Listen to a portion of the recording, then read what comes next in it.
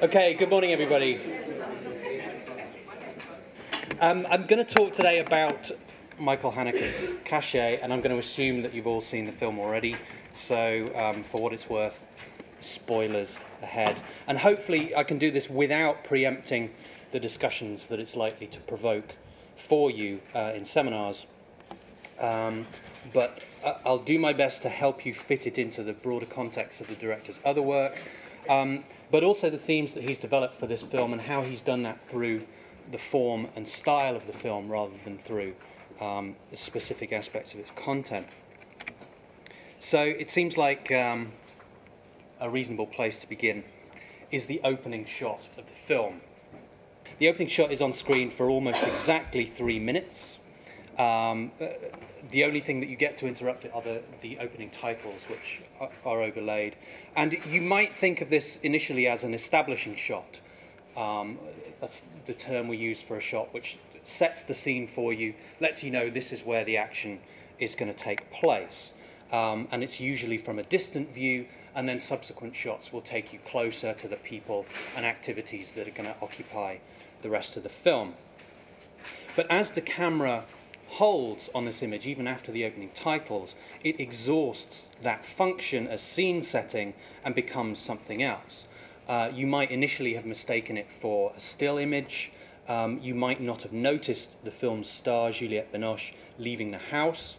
Um, you almost certainly didn't predict that what you might really be seeing is the point of view of Georges and Anne watching the video that has been sent to them in the post. So what you think is your kind of window on the scene is actually somebody else's point of view as they watch this tape. Um, so we might think of this as a point of view shot, but the question that the film immediately sets up is whose point of view it is. Um, and just to prove that there is nothing you can't use Jurassic Park to illustrate, um, here we have a, a series of shots uh, of people looking. The usual um, expectation is that you get um, a shot coupled with a reverse shot. Um, and at the beginning of Caché, you never get the reverse shot. You never get uh, a shot to show who is looking. It's constantly withheld from you throughout the film. So when we see a point of view shot in the cinema, or any shot that shows somebody looking at something, we are trained, um, and I use that word deliberately, we're trained to expect a reverse shot, a subsequent image that will show us who is looking, what they're looking at, or who is looking back at them. So a shot of somebody um, looking at something is almost invariably coupled with the shot of what they're looking at. This is a convention of film style um, that makes these kinds of shots work together. Um, and it, I guess it denies, uh, in Caché, it denies the viewer that ingrained um, payoff that is uh, a part of film language. Oh, yeah? um, so even from the beginning, Haneke is already playing with routine behaviors that you might have as, as a spectator. So the Jurassic Park example shows you that um, this is another example of a delayed reverse shot, where we see people looking at something and we have to wait for the payoff, but it is very much delivered to us. You know, Spielberg delivers on the promise that we're going to get to see uh, what it was that we paid for.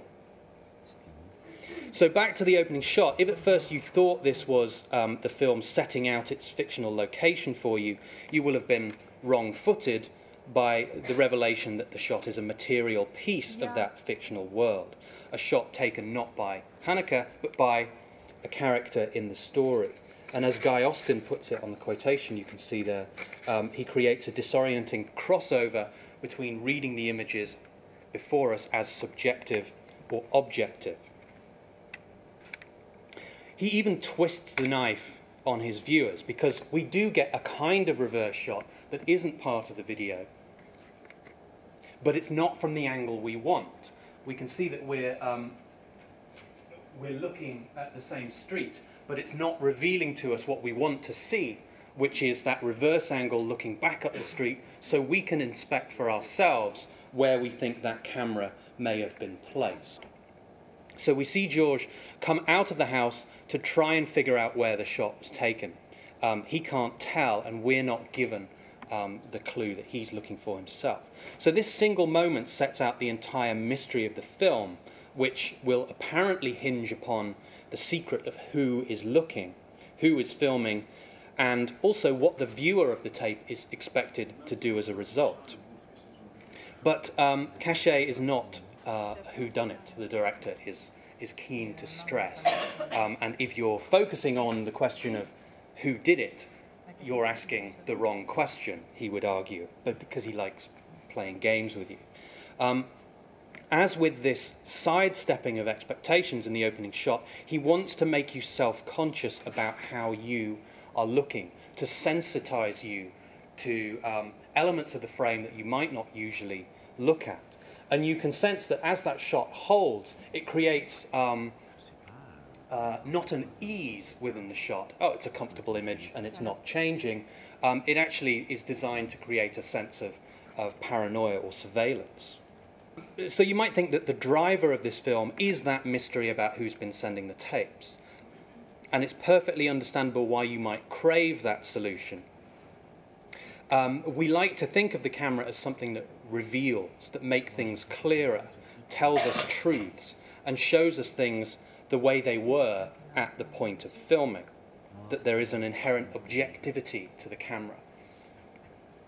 So if we had to summarize the overarching project of Haneke's feature films, we might say that it has been to disturb those comforts that we might want to take in trusting the image as a guarantor of truth, and also the comfort that we find in knowing that all mysteries will be resolved for us, preferably with a, uh, a happy ending.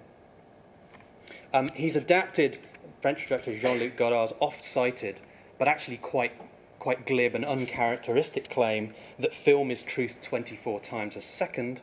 Haneke reworks that to say that film is a lie at 24 frames a second in the service of truth, or a lie with the possibility of being in the service of truth. Film is an artificial construct. It pretends to reconstruct reality, but it doesn't do that. It's a manipulative form, it's a lie that can reveal the truth. But if a film isn't a work of art, it's just complicit with the process of manipulation. So I draw attention to that last bit. If a film isn't a work of art, it's just complicit with the process of manipulation.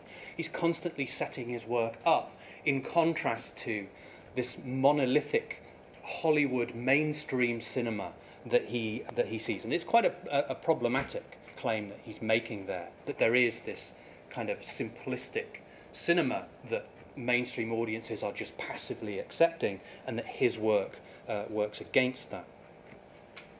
In another interview, he states again his suspicion of mainstream media. We take reality in the media for reality, which naturally is not reality, but only images of a reality.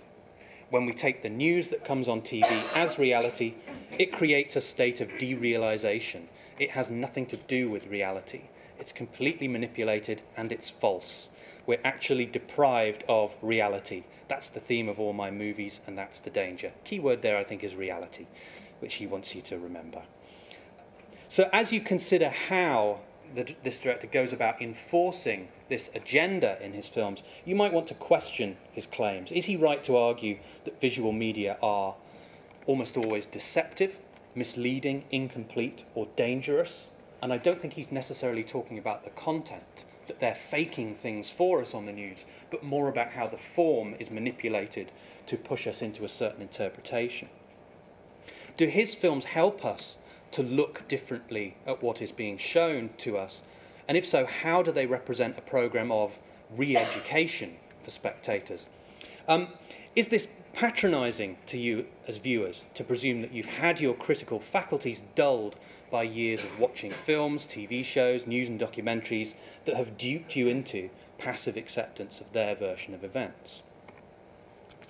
Okay, how does he set out this thesis of the media's duplicity? Well, he does it not through a, a really essayistic form, but he does it through narrative frameworks that dramatize for us crises of truth, of memory, and in some cases, class relations. So these are, to an, to an extent, essay films, but they're built around quite traditional thriller plots. According to Lawrence Chua, Haneke's narratives point toward a consumer driven culture with a naive understanding of violence, a lack of respect for its dangerous, transformative power. In a society where basic relationships between people are mediated by images, reality has lost its realness. Haneke reminds us of this by pulling us into the trick of the spectacle and then exposing the trick itself.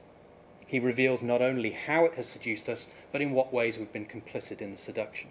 In sharpening our responses to the world around us, he gives us a piece of truth, even as he deprives us of peace of mind. So that opening shot might might just be nothing. It doesn't point us in the direction of any particular details that might become significant, but by holding the shot longer than expected, Haneke plays upon what you might have been conditioned to expect a cut to something that makes sense uh, of what it is that you're seeing. So he's trying to resensitize you to the act of looking. Now, perhaps that sensitivity that he wants you to have is productive, making us more attentive to important details, or maybe, as I said, it just makes you paranoid. Is there anything significant in the name of the street, Rue des Iris? Is it just a nice name about flowers, or is it a reference to the eye? As um, Ara Osterweil says, extended vision promises knowledge, but knowledge, as Haneke will soon demonstrate, may be inextricable from individual and collective culpability. And here's where we bring in the other theme of the film, that of national, perhaps specifically post colonial guilt, and the subject of historical memory.